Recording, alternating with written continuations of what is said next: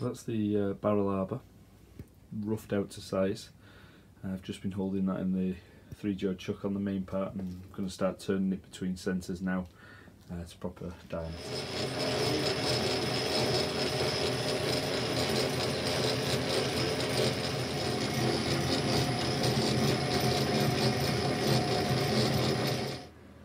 Well, I did this bit off camera, half because I had low charge, but half because um, I know I'm going to get heavy criticism for it. Yep, that's sticking out and I milled it. And I of course I'm sure should have used a tailstock but I just don't have one with my rotary table. And as much as I'd love one at the moment um, I can't afford that amount of money for one uh, for so little use. Anyways, worked out very well, uh, took light cuts, very very light cuts. Took me ages to do it but I think I've got an end uh, I've ended up with a nicer uh, square and that's obviously for the turning square for uh, winding um, and I think I've ended up with quite a nice finish to it certainly nicer than I would have got with filing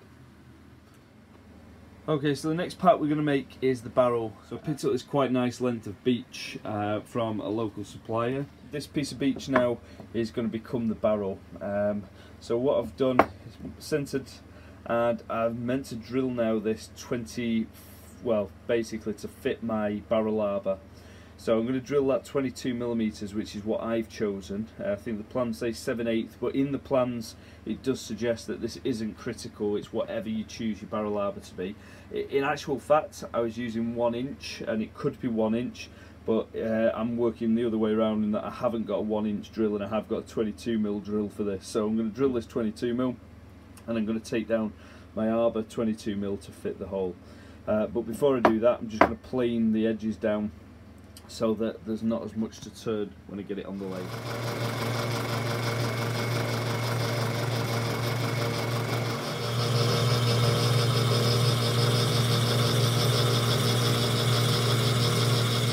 There's the beech roughly turned down.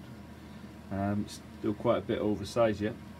But what I'm going to do now is I'm going to drill through the center 22 millimeters and then we're going to super glue this or araldite it to the arbor.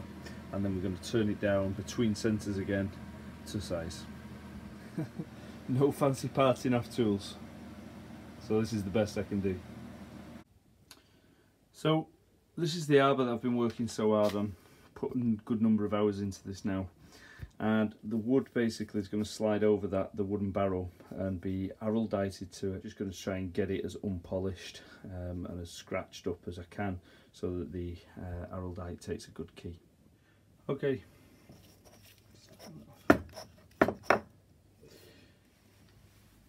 Okay so this is the next day. I've epoxied the uh, arbor on. Quite a bit of overlap. So now I'm going to mount this back between centres again and I'm going to first of all turn it down to size uh, in terms of length sorry and then going to turn it down to diameter. There's a huge build up here of epoxy just because that's the way I pushed it in. So obviously a lot of it actually escaped on that side. Okay so let's uh, get this back up. And spin.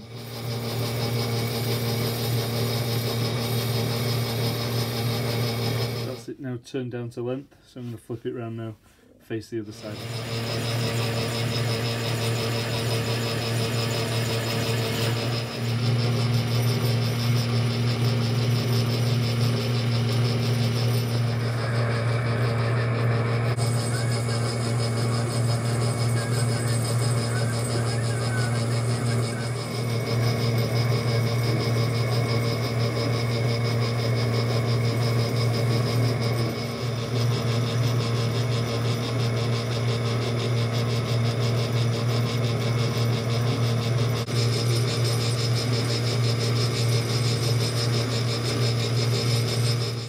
Okay, so I've just finished the arbor and the barrel.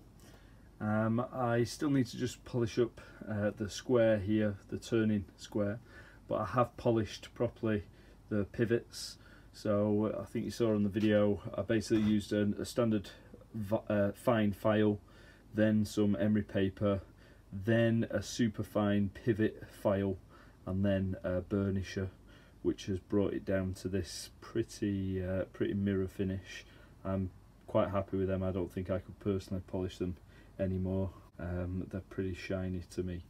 So that now is the barrel complete.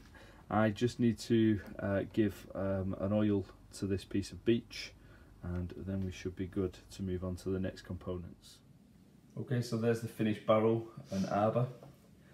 The pivots are now highly polished, as you can see. And it's ready now for the barrel end caps, the click, the ratchet wheel, and the main wheel. So I'm going to get onto the main wheel next because that's a little bit daunting.